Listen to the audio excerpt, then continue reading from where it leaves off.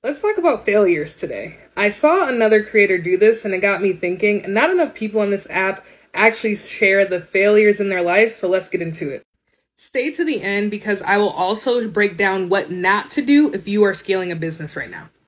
So this was one of the first products I actually drop shipped and scaled this business to six figures in about two months.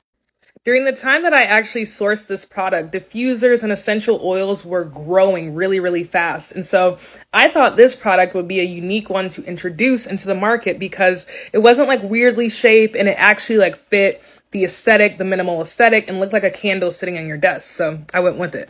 So I sourced one of my really good friends. We got some professional photography done. This is all done in his apartment. We got some ads made and we started scaling this thing up on Facebook ads.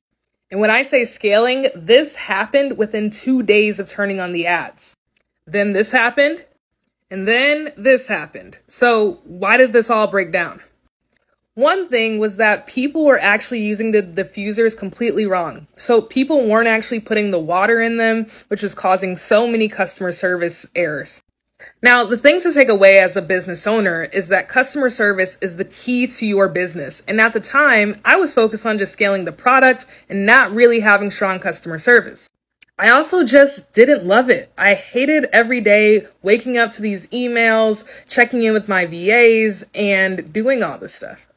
That's the second bit learning. As Drake says it best, as soon as you stop having fun with it, be done with it. And so I stopped having fun and we actually sold the company to a really big investor.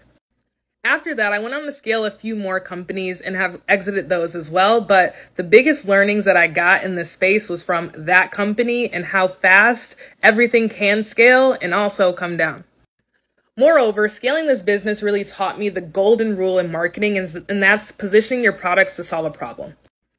Let me know some of your business ideas, some of your business failures, and always like and follow for some more content like this. So